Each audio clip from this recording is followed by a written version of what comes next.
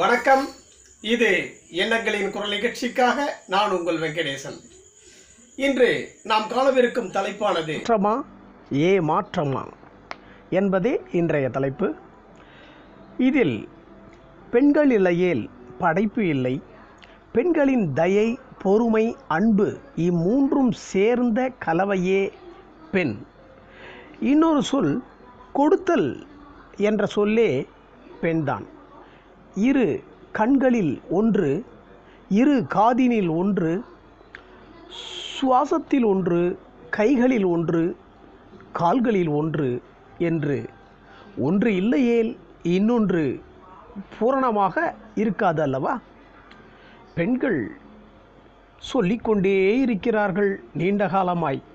பெண்கள் அடிமை என்று அடிமைப்படுத்தப்படுகிறாள் என்று சுதந்திரம் அற்றவள் என்று அவளிடம் முடிவெடுக்கும் அங்கீகாரத்தை தரப்படவில்லை என்று. பாவம் இவர்கள். தான் எங்கு நிற்கிறோம் என கூட தெரியாது பேசிக்கொண்டிருக்கிறார்கள் வளமும் இடமும் எப்போதும் ஒன்றுதான். வேறு வேறு அல்ல. இடமே முதன்மை. வளம் வருதலில் கூட வளம் இருக்கும். ஆனால் துவக்கம் இடமாகத்தான் இருக்கும். இடம் எனும் லெஃப்ட் பாதுகாப்பானது. அதனால்தான் பாதையில் கூட இந்த இடத்தை லெஃப்டை பரிந்துரைக்கப்பட்டது. பெண் இருதயம் போன்றவள் இடப்பக்கத்தில் மென்மையானவள் துடிப்பானவள் சிவனில் பாதியாய் நாராயணனின் நாராயணியாய் பெண் எப்போதும் உண்டு. வீட்டில் அவர்களை அதாவது பெண்களை சிறைப்படுத்தவில்லையான் நான்கு சுவற்றுக்குள் பாதுகாப்பாய் இரு என்கிறான். ஏனென்றால் நீ இல்லை என்றால் என் பொருளாதாரத்திற்கு பாதுகாப்பு இல்லை. என் பிள்ளைகளுக்கு பாதுகாப்பு இல்லை. ஏன்? எனக்கே கூட. அனைவரையும் ஆதரிக்க வேண்டுமானால் முதலில் பெண் பாதுகாப்பாக இருக்கப்பட வேண்டும் அல்லவா அதனால்தான் இரண்டு பிரிவாக கணவன் மனைவி என்று சொல்லப்பட்டது. பொருள் தேடி கணவனும் தேடி கொணர்ந்ததை பாதுகாக்க மனைவியும். அவளே மனையின் விளக்கு ஒளி.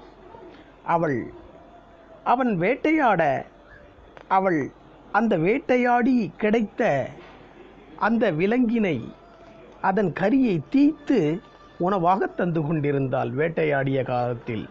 அவன் வயலூட துவங்கிய போது அவள் நடவு கதிர் கதிரறுத்தாள். பண்டைய தம்பதியர் பகிர்ந்தே உடைத்தனர் பகிர்ந்தே உண்டனர். பொருளாதார மேம்பாட்டை பெண்களை கண்டு எடை போடலாம். மூக்குத்தி கம்மல் வளையல் மேகலை ஒட்டியானம் கால்சலங்கை கழுத்திற்கான காசி மாலைகள் என பெண்ணே பொன்னை பாதுகாத்தாள். ஆண் என்ன அணிகலன் அணிந்து நிற்கிறான்? இடுப்பில் கட்டிய கோமணத்தை தவிர எப்போதுமே எது முதலில் என்ற சாய்ஸ் வரும்போது துன்பம் கடினம் உழைப்பு என்ற அனைத்தையும் ஆணையே சுமக்கிறான். பாதுகாப்பு என்ற முக்கிய அம்சமாக பெண் இருந்தால் வெளிச்சென்று வரும் காரணிகளான கல்வி வேலை தேடல் சம்பாதித்தல் உணவிற்கான பொருள்களை வாங்கி வருதல் என அனைத்தும் ஆணிடமே இருந்தது. காரணம் பெண் வெளிச்செல்ல வேண்டிய அவசியமில்லை. காரணம் பாதுகாப்பு. சேஃப் என்ற எண்ணமே. அடிமைத்தனம் என்று இது புரியப்பட்டது. ஒருவர் உழைத்தாலே போதும். இருவர் ஏன் குடும்பமே உண்ண முடியும் என்ற நிலை இருந்தது அப்போது. எளிமையே உணவான போது இது எல்லாம் சாத்தியமானது. அப்போது அடிப்படை தேவை மட்டுமே கோலோச்சி நின்றது. ஆடம்பரம் எட்டி பார்க்க பயந்தது அப்போது. மெல்ல ஆயிரத்தி தொள்ளாயிரத்தி எண்பது தொண்ணூறுகளில் நகரத்தில் முதலில் கால்பதிக்க நினைத்தது ஆடம்பரம். மாநகர எல்லையை கடந்து நகர எல்லையை மெல்ல ஊடுருவி இரண்டாயிரத்தில் பேரூராட்சி வளையத்துக்குள் உள்நுழைந்து இரண்டாயிரத்தி பத்தில் இருந்து கிராமத்திலும் தலைவிரித்தாடுகின்றது இந்த ஆடம்பரம். உழைத்து களைத்து போகும் உங்களுக்கு இதோ சுகமான கட்டில் மெத்தை. இனி பாயில் படுக்க வேண்டிய அவசியமில்லை என்றது. தரையிலும் மனையிலும் அமர வேண்டாம். குனியாமல் அமர இதோ நாற்காலி என்றது. உன் பொருளை பத்திரமாக வைத்துக்கொள் என மரத்தாலான பீரோ வந்தது. உடல் வியர்க்கின்றது பார் காற்றாடி என்ற ஃபேன் போட்டுக்கொள் என்றது. விறகு அடுப்பில் வேகாதே வெந்து வேகாதே என்று கரிப்படாத திரி ஸ்டவ் வந்தது. பம்பு ஸ்டவ் ஆனது பின் கேஸ் ஸ்டவ் ஆனது அதற்கு பின். இவைகள்தான் அடிப்படை ஆடம்பரம் என்ற இரட்டை வார்த்தையை அடையாளம் காட்டியது அன்று.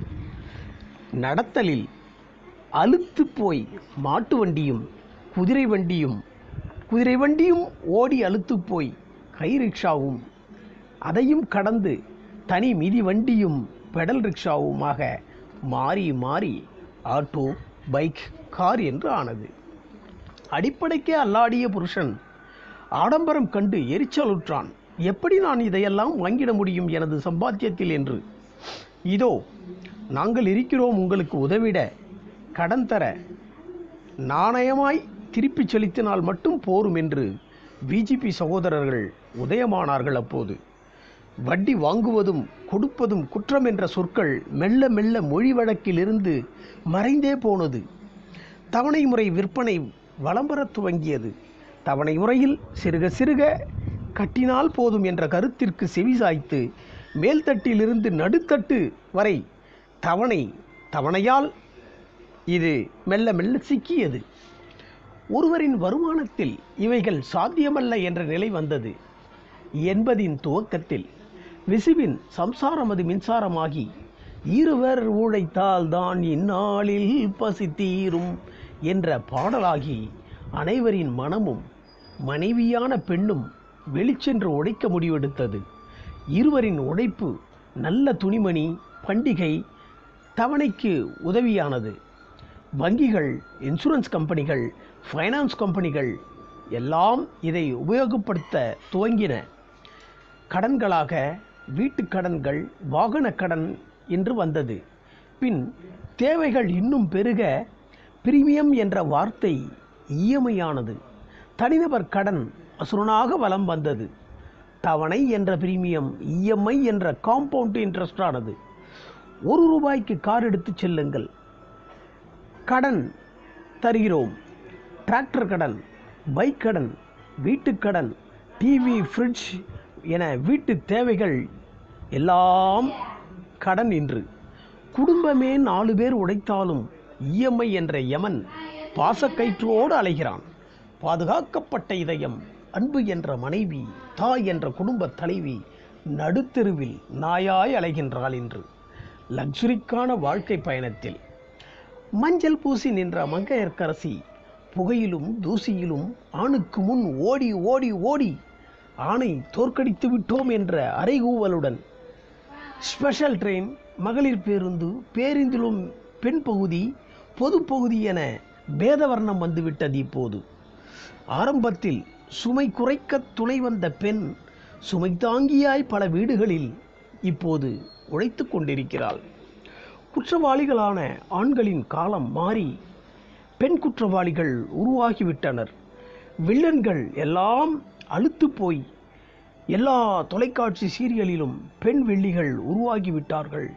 சாலையில் பயணிக்கையிலும் யாரோ பெண்களை துரத்துவது போல் வேகமாக பக்- பைக்கில் பயணிக்கிறார்கள் பெண்கள். மெல்ல மெல்ல எல்லாமே மாறிப்போனது. வழக்கையும் இடக்கையும் மாறி மாறி அடித்துக்கொண்டு நீதிமன்றத்தில் நீதி கேட்கிறது இப்போது. வெளிச்சென்று கல்வி கற்க அறிவு விருத்தியானது. அடிமை அடிமை என யாரோ ஒருவர் கூவ எல்லா பெண்களிலும் அடிமைத்தனம் என்ற எண்ணம் வேர்விட்டு அன்பு தயை விட்டு கொடுத்தல் எல்லாம் தேவையற்ற வார்த்தைகளாக மாறிப்போயின. அப்பா மட்டும்தான் கொடுப்பாரா என்ன? நான் தருகிறேன். என்னிடம் வா.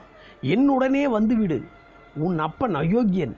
பார் தினமும் என்னை சமையல் கட்டில் சமைக்கச் சொல்கிறான். என்றைக்காவது ஸ்கூலில் இருந்து உன்னை கூட்டி வந்து கூட்டி போனாரா உன் தந்தை? இல்லையே. உன் மீது அவருக்கு பாசமே இல்லை அக்கறை இல்லை. உன் அப்பாவிற்கு அம்மாதான் எல்லாம் தெரிந்து கொள் என பிள்ளைகளின் நெஞ்சில் விஷம் கொடுக்க துவங்கி விட்டார் நானும் சம்பாதிக்கிறேன் நீயும் சம்பாதிக்கிற. நீ சுத்துறா மாதிரி நானும் சுற்றுவேன் நீ தான் குடிப்பியா? நானும் செய்வேன் அதை. ஏன்? உன்னை விட நான் நிறைய சம்பாதிக்கிறேன். என பேசி நாம் மியூச்சுவலாக பிரிஞ்சிடலாமே என சிந்திக்க துவங்கியாயிற்று இப்போது. அடிமைப்படுத்தியதாக பேசி பின் சமன் செய்து தான் என்ற நிலைப்பாட்டுடன் பிரிவுகள் மிகுதியாகி விட்டது இப்போது. தலைமுறைகள் மாற மாற கல்வி வளர்ச்சி பெறுகின்றது. அதிகம் படித்த பிள்ளை அப்பனம்மாவிற்கு எதுவும் தெரியாது என்று சொல்ல வைத்துவிட்டது. நம் கல்வி முறை நான் நினைக்கின்றேன் பள்ளி இறுதி ஆண்டு வரை பெற்றோரை மதித்த பிள்ளை கல்லூரிக்கு போன பின் பெற்றோரை மதிக்காதது ஏன்? கல்லூரியில் போதிக்கப்படுகின்றதா என்ன? நீங்கள் பெரிய வளர்ச்சி அடைய வேண்டுமானால் முதலில் பெற்றோர் பேச்சை கேட்காதீர்கள் நிறுத்திவிடுங்கள் அதை என்று. இப்படியாக வரும் இடைவெளியே மனைவி வந்தபின் பெற்றோரை விரட்டி அடிக்கும்படி செய்து விடுகிறதோ? கல்வி என்பது தெளிந்த நிலையல்லவா? ஆனால் இங்கு நடக்கும் நிகழ்வுகள் தெளிந்ததாக தெரியவில்லையே. தெளிந்த நிலை என்பதே இன்றைய சமுதாயத்தின் வாழ்வியல் முறையா? இது மாற்றமா இல்லை ஏமாற்றமா என்ற கேள்விகள் என்னுள் எப்போதும் இருந்து கொண்டே இருக்கின்றது. இந்த நிகழ்வானது உங்களுக்கு பிடித்திருக்கும் என்று நம்புகிறேன். மேலும் இதே போன்ற இன்னொரு நிகழ்வுடன் உங்களை சந்திக்கும் வரை உங்களிடமிருந்து விடைபெறுவது உங்கள் வெங்கடேசன்.